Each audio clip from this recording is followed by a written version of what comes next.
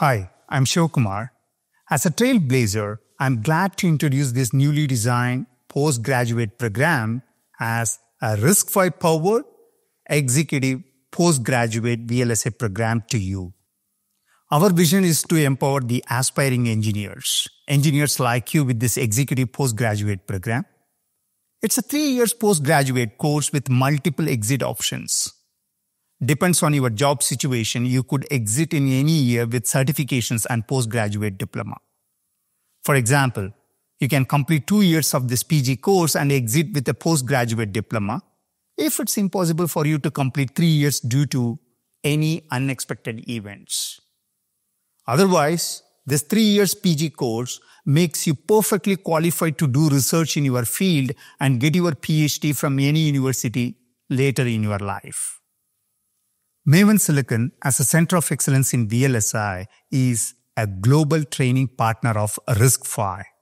So, I'm delighted to inform you that we have designed this curriculum leveraging our strong domain expertise in RISC-V and ASIC, application specific integrated circuit.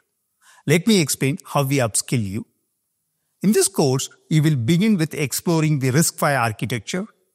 Then, as an architect, you will design a pipeline RISC-V processor and using this processor, you will design a desktop chip that will run an operating system like Linux.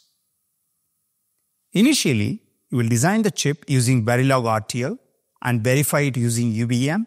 You will also explore how to use formal verification to verify the processor and SOC IPs. You will also understand how to create a library of pre-verified synthesizable IPs for your SOC. Post verification sign off, the verified chip will be implemented exploring various phases like synthesis, design for testing, and physical design as part of the ASIC design flow. In addition to the chip implementation, you will also explore booting the operating system and running the software application as part of product validation. The course will also impart AI chip design.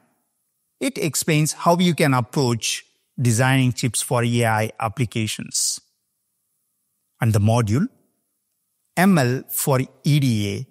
It explains how you can use the machine language in EDA for automating various things like RTL code reviews, verification sign off, and PPA, Power Performance Area Optimization. And the module, Gen AI for VLSI. It explains how you can build AI agents for chip design.